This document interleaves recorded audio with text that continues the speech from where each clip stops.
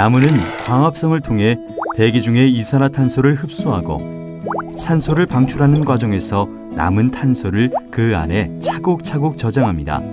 그리고 탄소를 저장하고 있는 나무를 수확하여 생산된 목재 또한 탄소를 저장하게 됩니다.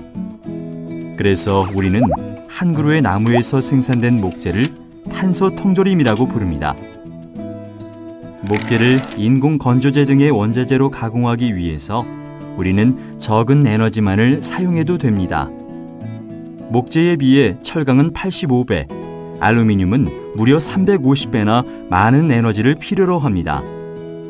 오랜 시간, 많은 정성을 들여 생산된 목재는 우리 생활에 필요한 다양한 고급스러운 제품으로 만들어지게 됩니다.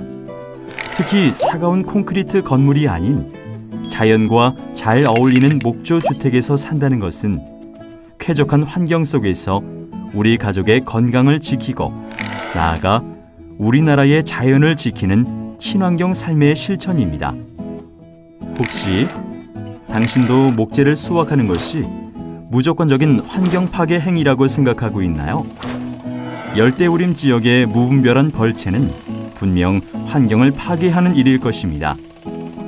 하지만 우리는 목재 생산을 위한 일종의 나무밭을 별도로 가꾸어 계획적으로 나무를 수확하고자 합니다.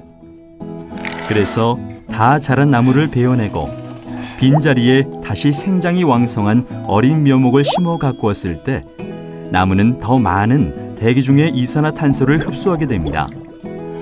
뿐만 아니라 수확을 통해 생산된 목재만큼 많은 탄소를 저장할 수 있게 됩니다. 이렇듯 계획적인 목재 수확을 통해 선순환 구조를 조성한다면 전체 산림의 탄소 흡수원은 오히려 늘어나게 됩니다.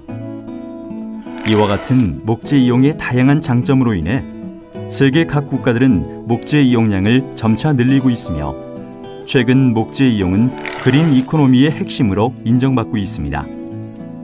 지속 가능한 목재의 사용은 바로 지구를 숨쉬게 하는 방법입니다.